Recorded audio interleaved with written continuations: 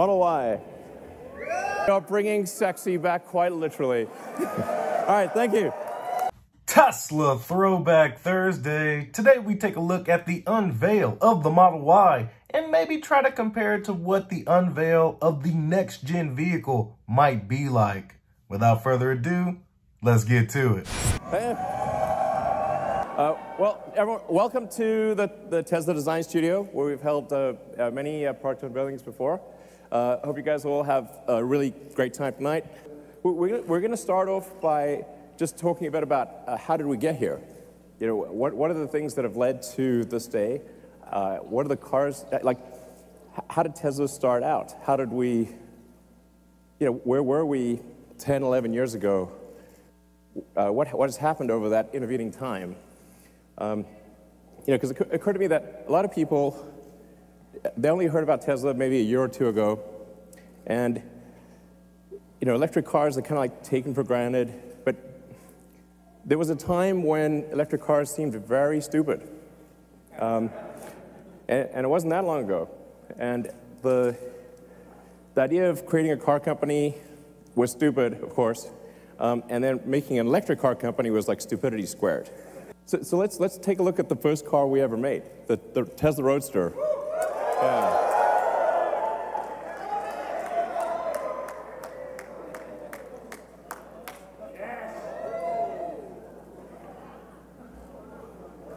All right. If you, if you go back 11 years today, Tesla had made one car, that car. That's serial number one of, of, of Tesla. So that's, that's my car, actually. Um, and on, on, February 2008, uh, we, would literally only made one car, that car. Um, and it didn't really work very well, I have to say. It broke down a lot. Um, and it took us another three months just to make the second car. And now uh, we've made about 550,000 cars. The, the, Roadster, we wanted, the reason we did a sports cars, we wanted to create a car that uh, would break the mold for electric vehicles. Um, and that, that would be, yeah, sexy and, and fast and long range. And um, that's, that's why we did the Roadster. Um, and uh, people, people say that, well, you, you won't be able to make the, you won't be able to make a car with those specifications, and if you do, nobody will buy it. So we had to prove those two things wrong.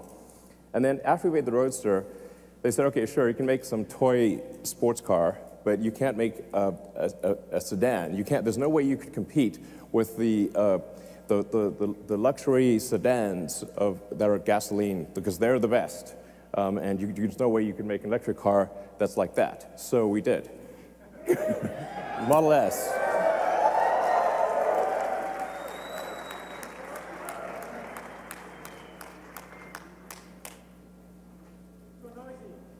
Exactly. So noisy. Where are all the fumes? Where's the exhaust pipe? Where do you put the gasoline? So we actually started designing that car um, in the rocket factory. So we didn't have a, a design studio. Um, but we took a little corner of the rocket factory and, and, and Franz joined. And we just, uh, with a tiny crew in a corner, corner of the rocket factory, we, we designed that car. That, that car was really important because it was competing against the best of the gasoline cars.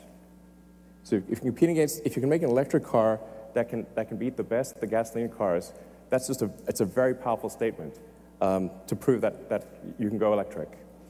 So then, uh, working on the, from the Model S, uh, which by the way, um, in terms of how, where the name comes from, actually, we, we, I like calling things what they are. So Roadster is called Roadster because it's a roadster. There is no, there, there is no good word for sedan. so we couldn't call it the sedan. It wouldn't work. Uh, or saloon. There's just like literally no word. So the, the, the Model S stands for sedan. and uh, uh, this, is, this is how out of touch I was. I actually didn't realize at the time that Model S also means models. And, and, and, then I had like a, at one point a license plate that said Model S2, because it was like the second production Model S. And it was like, and, I, and as I was walking away from my car, I said, wow, what a jerk. His license plate says Models 2? yeah, like, okay. Better not have that license plate. So, um, but then going from the, from the Model S, we said, okay, uh, we, we, want to make the, the, be, the best SUV in the world. Um, we want to do something, we kind of got carried away actually with, with the Model X. Um, we, we, we, we, was like, let's, let's have we, practically every, every technology and whiz bang thing we could possibly think of. Um, and uh, the Model X is like, as a car, it's like a Fabergé egg meets a spaceship. It's like, um, it was insanely difficult. Um, but it, but it, is, it is an amazing vehicle. Let's bring it out.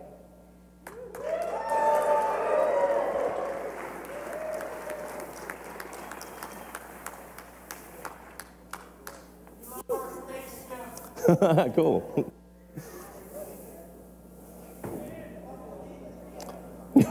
yeah. You can see a certain position forming, maybe.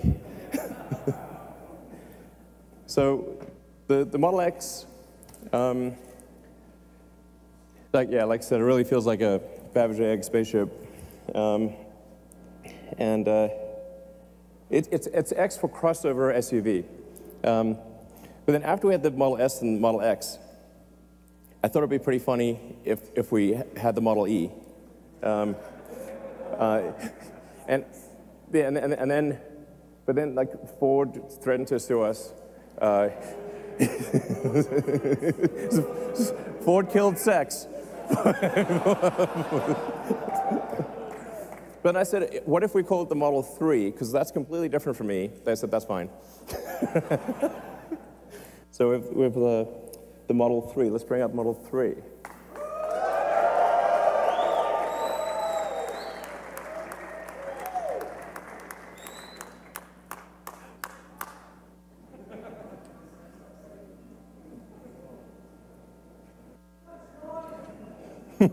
exactly, smart summon with a person.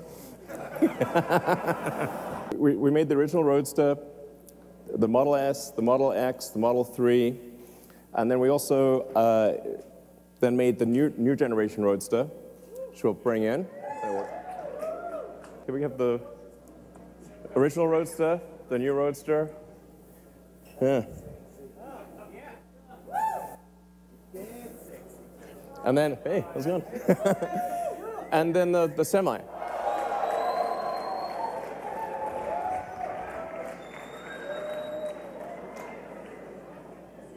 Uh, the, actually, the, the, Tesla Semi drove here nonstop all the way from the Bay Area.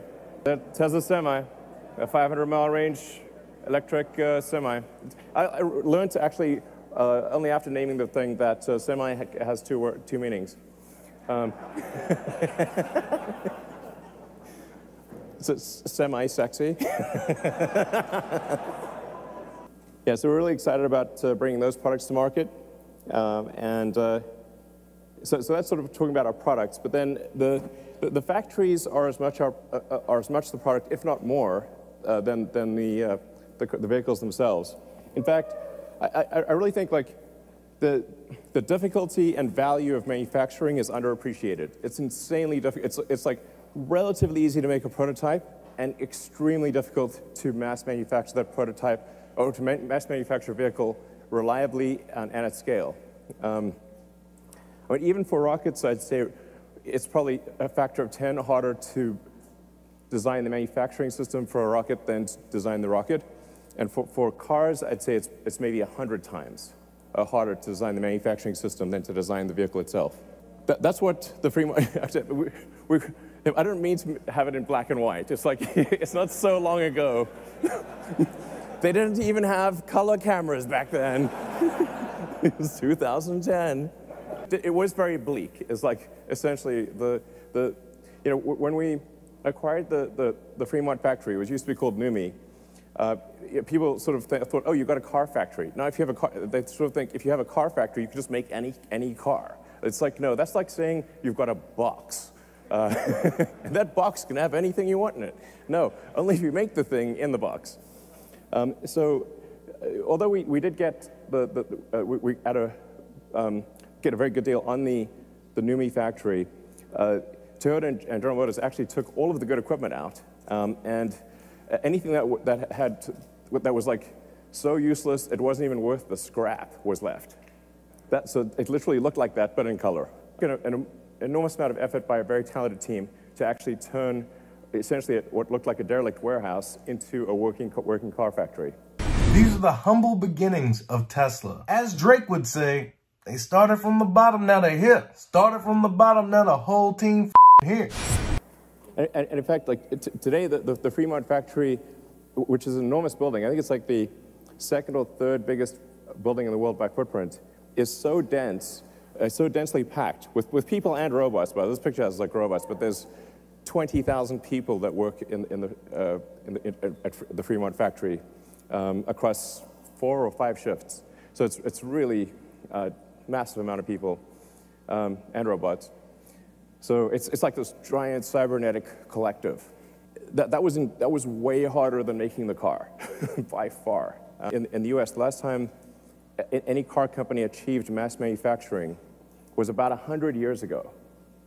That is the last time, and then, and then Tesla. It's literally that crazy. The issue is definitely not coming up with a car design. It is absolutely all about building the production system. Um, you want to have a good product to build, but, but that's, that's basically the easy part. Um, then, then the factory is the hard part.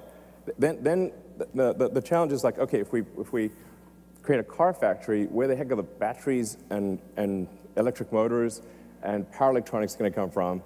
Um, and, and that's where we, we, we need to say, okay, we better build something that's capable of 50 gigawatt hours at least of, of cell output, which at the, at the time when we proposed the Gigafactory, I, I believe like total global output for, of, of, of, of lithium-ion batteries for all purposes, phones, laptops, certainly you know, cars, anything, was about 30 gigawatt hours.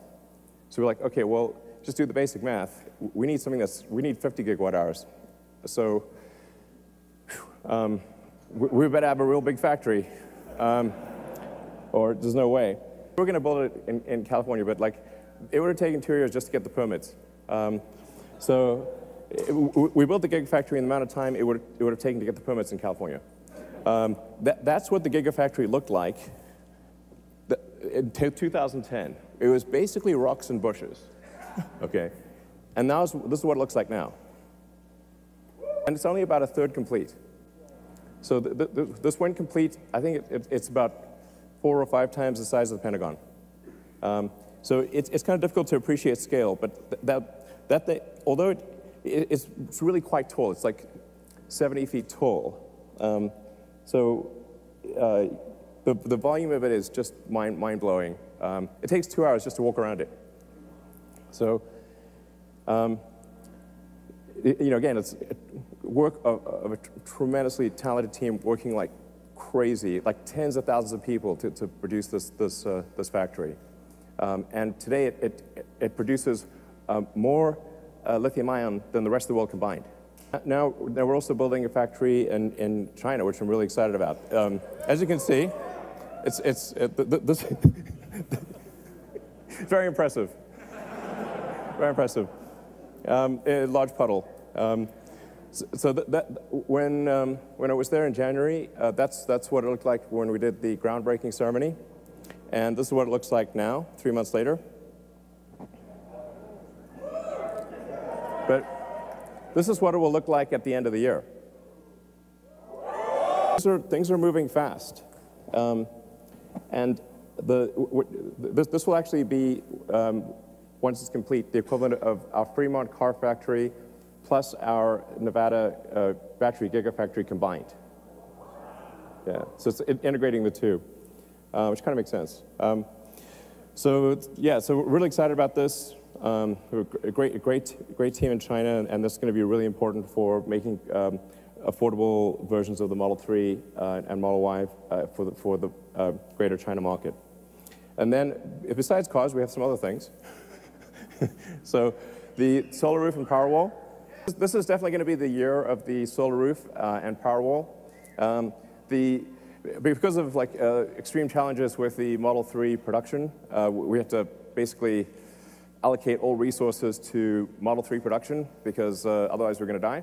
Uh, That's not a euphemism, folks. They would die if the Model 3 production did not become a success. Put everything on the back burner so that we can become profitable with the Model 3. Pretty tight, I have to say. Um, that was a hard one. Uh, I would say like, like, like 2018 was probably felt like aging five years in one. Honestly, it was really intense. Um,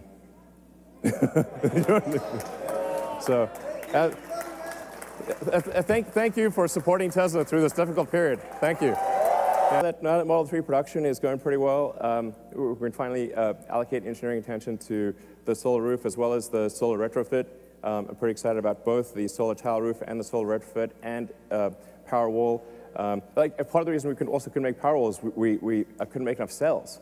So we had to allocate cells to the car or to the Powerwall. And it was like, well, we've got to make the cars. So then Powerwall got Cellstar, basically. Um, but 2019, so we are uh, now going to ramp it up. Um, and then PowerPack. So PowerPack is kind of like our industrial strength uh, uh, battery storage system. Um, and uh, we, we, did the, uh, the biggest battery storage system in the world in, in Australia. Um, and yeah, that was, that was uh, really super cool.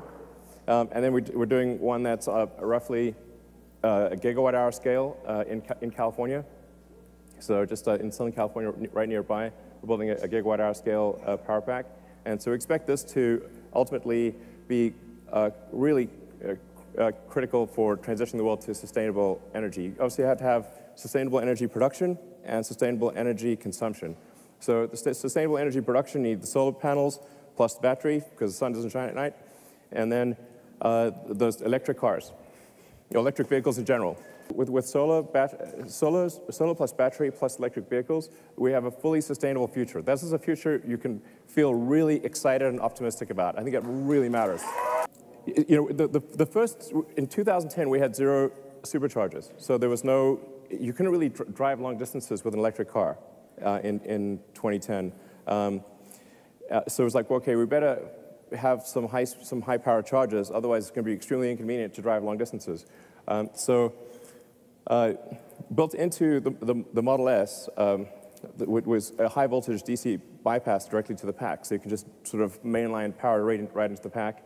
Um, and then we stick it, we, then nobody was building high, high power charges, so like, okay, we better build these high power charges because nobody's building them. And um, so we went from zero superchargers to building a, a global network of superchargers. It's pretty nutty. Each one of those, each one of those is, is a supercharging site. So um, supercharging team did an incredible job uh, building uh, a, global network of superchargers that allow you to travel uh, to a massive section of, of, of, the, of, the, world, basically anywhere in North America, almost anywhere in Europe, uh, most places in China, uh, not the Gobi Desert yet, but most places. Um, we'll, we'll cover the Gobi Desert. We'll get there. and Saskatchewan, I, I swear to God, there is I've specifically asked about the Saskatchewan supercharger. the, the, the, superchargers actually started out um, only at about 75 kilowatts. And now they're at, uh, with version 3, uh, 250 kilowatts. And we think probably can even go a little, little higher than that. Um, and so if you've got a long-range Model 3, it's, uh, it's capable of charging at about 1,000 miles an hour or 1,600 uh, kilometers an hour. Uh, we have one uh, working in the Bay Area, and then the one here at the design studio is uh, also working as of tonight. So, yeah. So, so we're going to be rolling out the version 3 supercharger uh, throughout the world, just gradually upgrading the existing sites as well as adding new sites. Um, so we, we, did, we did slow down our the supercharger rollout a little bit because we wanted them to be version 3 instead of version 2. Um, but now that we have version 3 running, and we'll, um, we're going to spool up production, and so you're going to have like um, uh, a radical improvement in supercharging uh, worldwide by sometime next year. In terms of where we are today, uh, we got uh, obviously the S3 and the X. Uh, we've uh, made, I think, 550,000 vehicles, something like that. Um, the, the 12 months from now, we will have made about a million vehicles. It's pretty wild to think that 11 years ago today, we had made literally one car, um, and a year from now, we will have made a million.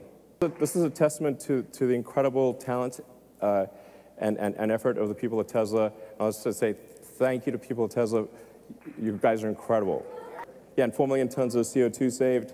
Um, in fact, with the, the four millionth ton, uh, it just ticked over like an, like an hour ago. So the four millionth ton just ticked over tonight. Uh, what, what were the thoughts back, back then? What were some of the comments? Uh, let's see. Uh, the internet is forever. um, it, this is a, a mere like taste. It was like, like I said, it, it was, electric cars were considered extremely impossible and stupid, uh, and, and, in various forms. The you know, you're a fraud. Blah. Like okay, you can drive that fraud. um, okay, uh, and then now things have changed. Yeah.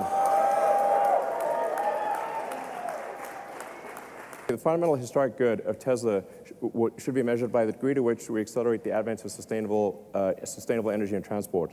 Um, and our goal all along has been to try to get the rest of the car industry to, uh, to go electric. We did a, a, a joint venture thing with, uh, with Toyota and with Mercedes. Um, we, we, open sourced our patents uh, three or four years ago, um, made, them, made them freely available. Um, and uh, so it's, it's ex extremely rewarding to see that the, the rest of the industry is going electric. This is great, great. Where will, where will Tesla be in 10 years? You know?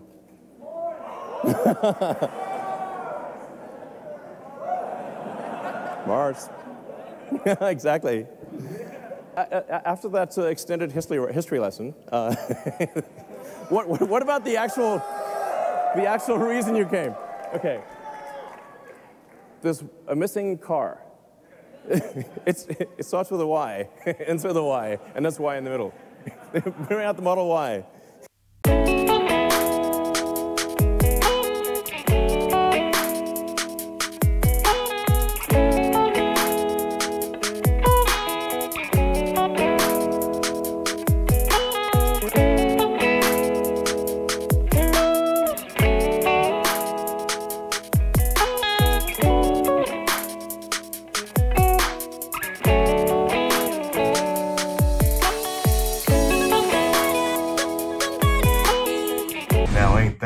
sexy.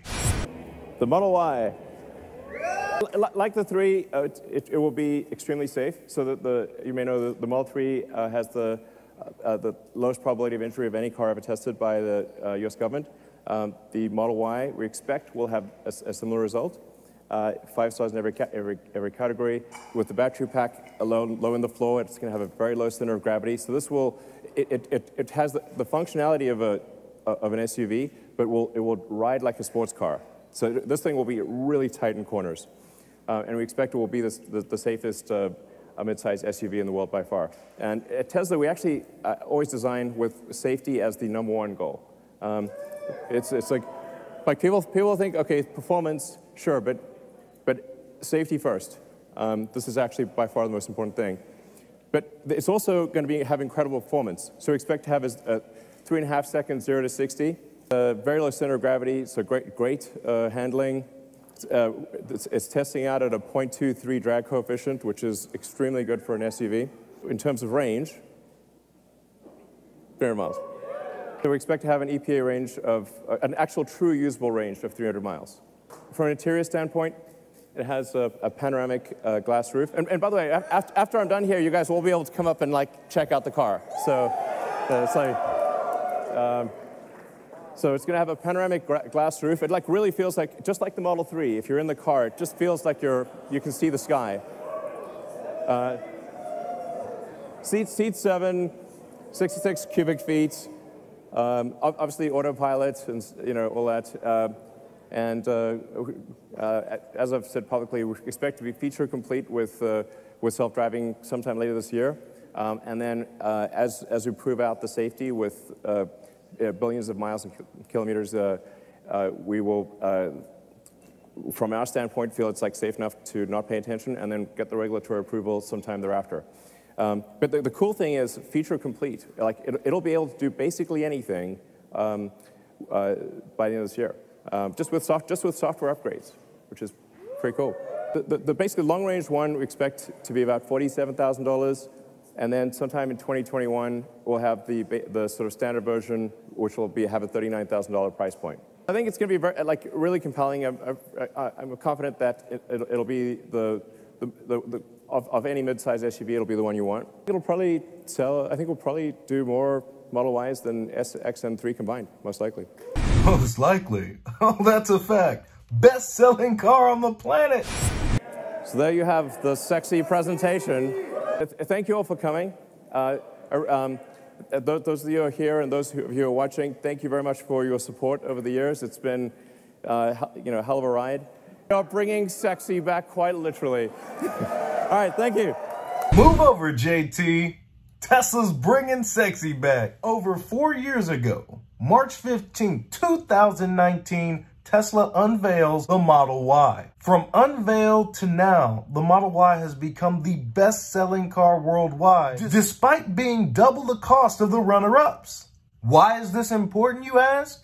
Because the next gen vehicle is due to be unveiled, if not this year, early next year. If history is to be our guide, we can expect Tesla to go through their truly humble beginnings. Look at all the criticism that they faced. The Los Angeles Times in 2009, more like a glorified golf cart than a harbinger of tomorrow tech. Forbes 2011, electric cars are an extraordinarily bad idea. Daily Mail 2011. Sorry, but electric cars are a waste of space. These are just the highlights of the torrent of negative press Tesla faced. Fear, uncertainty, and doubt dominated the media.